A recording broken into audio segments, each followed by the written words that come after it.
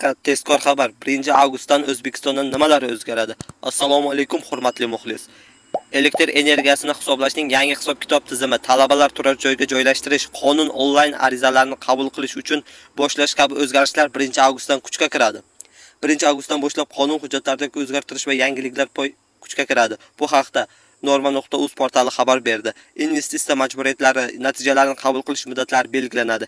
Kichik sanoat zonalari ishtirokchilari va yoshlar tadbirkorlari subyektlarining investitsiyaviy va ijtimoiy majburiyatlarini bajarish, natijalarini qabul qilish va kichik va yosh sanoat zonalarini boshqarish bo'yicha yagona delegatsiyalar tomonidan majburiy majburiyatlarni bajarish muddati tugagan kundan boshlab 3 oy muddatda amalga oshiriladi.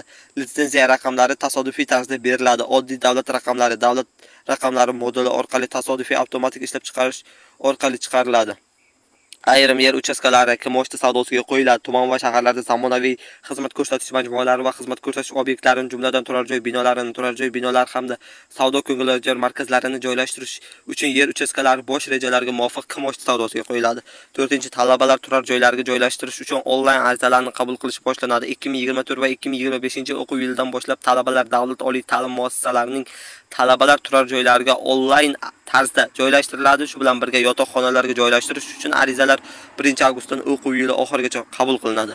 Qoraqalpog'istonda biznes forum o'tkaziladi. 2024-yil avgust oyida Qoraqalpog'istonda xalqaro biznes forum o'tkazish O'zbekistonning xorijiy davlatlardagi elchilari bilan birga hamkorlikda Qoraqalpog'istonda biznes qiling dasturi doirasida investorlarni jalb etish joriy yil oxiriga qadar yillik yirik xorijiy ishlab chiqarish kompaniyalari brendlarini jalb etish choralari belgilandi.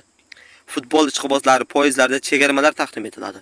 2024-yilning avgust-oktyabr oylarida futzal bo'yicha jahon chempionatiga akkreditatsiyadan o'tgan shaxslar, shuningdek, chempionat chiptasi bo'lgan xorijiy va mahalliy muxlislar uchun poyezd chiptalariga 50% chegirmalar joriy etiladi.